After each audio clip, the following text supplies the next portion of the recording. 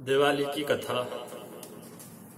दिवाली की कथा के बारे में बताया जाता है, जो राजा बलि को समर्पित है। एक बार महाराजा युधिष्ठर ने भगवान श्री कृष्ण से विनय पूर्वक पूछा कि, हे भगवान, आप मुझे कृपा करके ऐसा व्रत या अनुष्ठान बताएँ, जिसके करने से मैं अपने नष्ट राज्य को पुनः प्राप्त कर सकूँ, क्योंकि राज्य से वंचित हो जाने के कारण मैं अत्यंत दुखी हूँ। श्री कृष्ण जी ने कहा कि, हे राजन, मेरा परम भक्त दैत्यराज बलि, ने एक बार सौ अश्वमेघ यज्ञ करने का संकल्प किया था।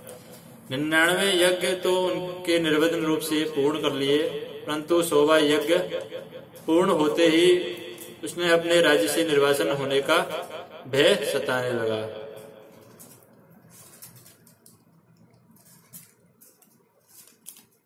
देवताओं के साथ लेकर इंद्र क्षीर सागर निवासी, भगवान विष्णु के पास पहुंचकर वेद मंत्रों से स्तुति की और अपने कष्टों का समर्पण वृतांत भगवान विष्णु से कह सुनाया।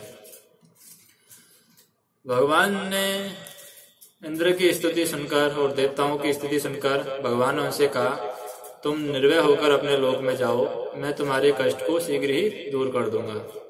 इंद्र के चले जाने पर भगवान ने वामन का अवतार धारण कर बटु वेश में राजा बलि के यज्ञ में प्रस्थान किया।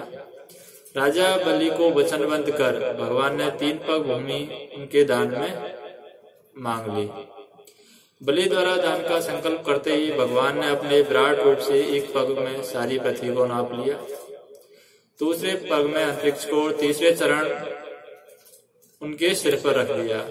राजा बलि की दानशीलता से प्रसन्न होकर भगवान ने उनके बर मांगने को कहा तो राजा बलि ने कहा, कार्तिक कृष्ण पक्ष की त्रयोदशी से अमावस्या तक, अर्थात दीपावली तक, इस धरती पर मेरा राज्य रहे।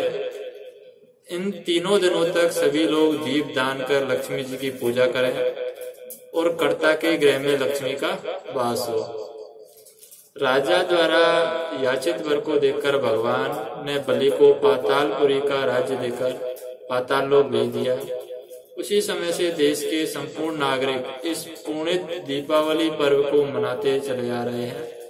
अतः सभी प्राणियों के लिए इस पर्व की सद्भावना पूर्वक मानना आवश्यक नहीं, बल्कि अनिवार्य माना जाता है।